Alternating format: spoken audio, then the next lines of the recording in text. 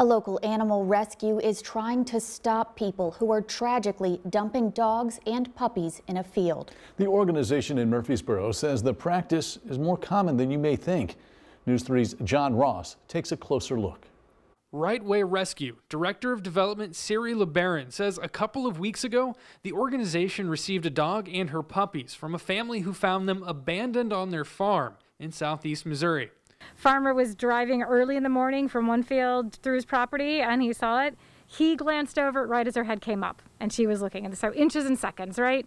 Wright-Way took Virginia and her pups and placed them with a foster under their No Mom Left Behind program. They are in a wonderful maternal foster home up in uh, near our Morton Grove Adoption Center, so up in the Chicago area.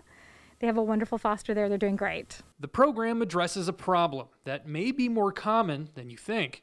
It's very, very common for mamas and their babies to be dumped somewhere, for pregnant mamas to be dumped in the woods, in fields, literally on the side of the road. Pam Eaton fosters animals here at her home and has recently taken in another case similar to Virginia's. Meet Mocha and her babies. My property was named recently Pamelot. this is where they come to get well and heal. She says fosters are an important lifeline for abandoned mothers and their pups. A lot of times, if moms and babies have to stay in a shelter or animal control someplace, they get sick very quickly and, and we lose them.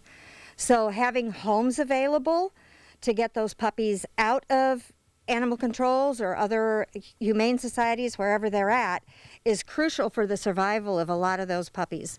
LeBaron says while they're trying to save the animals, their program also helps to control overpopulation. Taking care of them is the most important part of preventing pet overpopulation uh, in the future. So you can't adopt your way out of the current situation with pet overpopulation. You have to spay and neuter. Reporting in DeSoto, John Ross, News 3.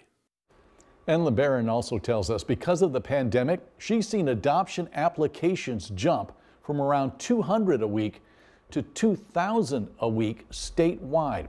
That also means they're able to rescue more animals.